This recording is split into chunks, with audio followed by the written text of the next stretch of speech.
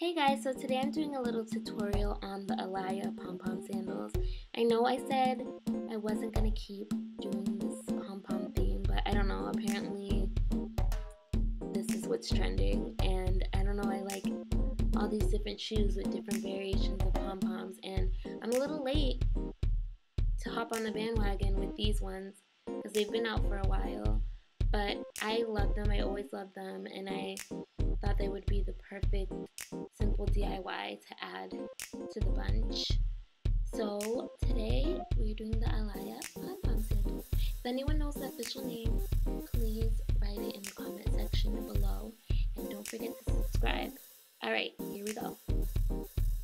So the recipe for these shoes are very simple. You just need some heels, some pom-pom strings, some glue sticks and a glue gun,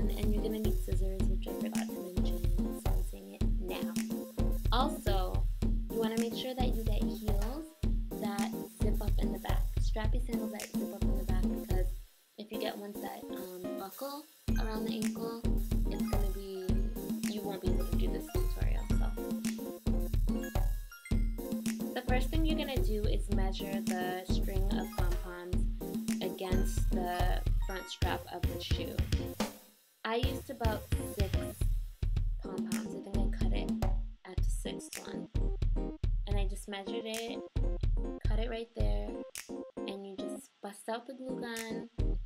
For me, it was easier when I turned it on its side to add the glue because I didn't want it to drip onto the shoe, so it's easier you just turn the shoe to the side and start with the glue gun.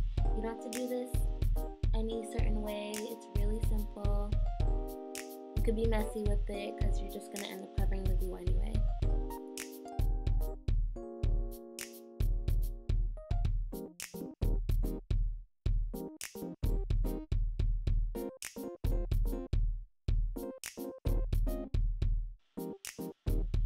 You have a little leeway when you put the glue on. It's like a, want to five second window less where once you place the pom-poms on, you can adjust them a little bit.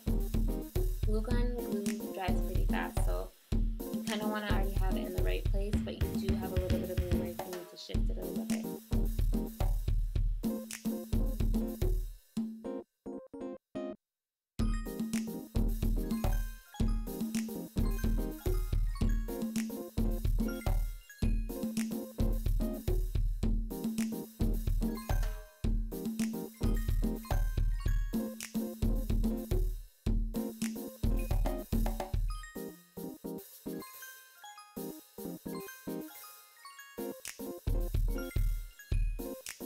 To measure the ankle strap, you just do the same exact thing.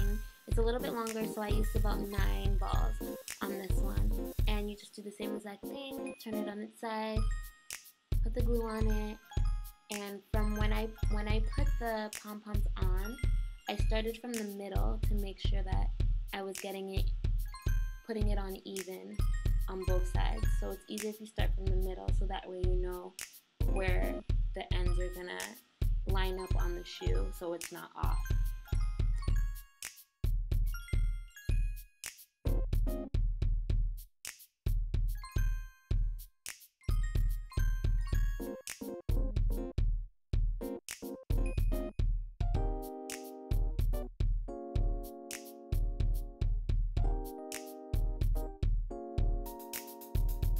And that's it. And then there were two. So you do the same thing on the other shoe, and voila, you have a slight replica of the Alaïa Pom Pom sandals. And if you want to check out how I styled them, again, you can always go on my blog, locksandtrinkets.com. Don't forget to check out my other videos, the Aquazzura, Wild Thing sandals, feather sandals, more pom-pom sandals, chain heels. You know, I'm trying them all. I did get a great suggestion on my last video, so I think I'm going to try those ones next. I'm really excited for those ones. So don't forget to subscribe to see a new shoot every week. See you guys then. Bye-bye.